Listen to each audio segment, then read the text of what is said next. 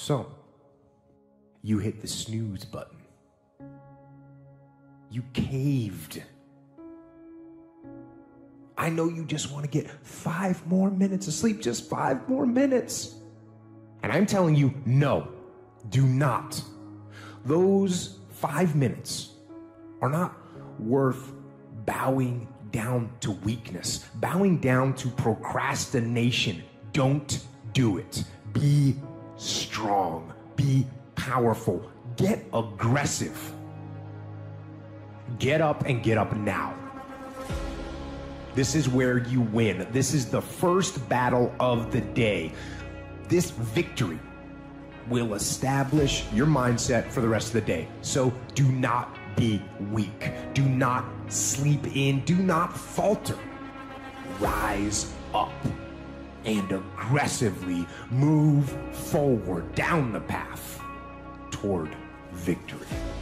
Every single day when you wake up, you got two options. You can look at the clock and hit the snooze. You can look at that snooze button, boom. You can hit the snooze button and go back to bed and dream about what you want to have. Or you can look at that snooze button, kick that clock, and get up and go pursue your dreams. If you're gonna really be successful in life, if you're gonna have it, if you're gonna be it, you're gonna do it, I need you to take personal responsibility.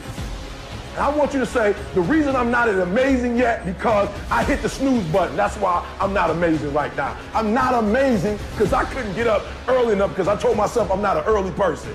I'm not amazing because I'm lazy. I'm not amazing because I would prefer to make excuses than make adjustments. That's why I'm not amazing. When you cut this off, I want you to go look yourself in the mirror and I want you to vow to be amazing. I want you to vow that no more excuses. From this day forward, I'm not just gonna be getting pumped up. I'm not just gonna be fired up. I'm about to start applying.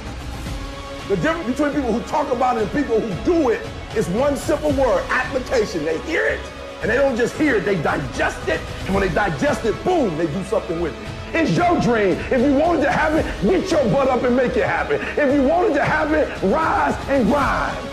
You have to eat the dream. You have to sleep the dream. You have to dream the dream. You have to see it when nobody else sees it. You have to feel it when it's not tangible. You have to believe it when you cannot see it. You gotta be possessed with the dream. Stop making excuses. Stop waiting for somebody to feel sorry for you. Yes, it's gonna be hard. Yes, it's to be difficult, but you can do it.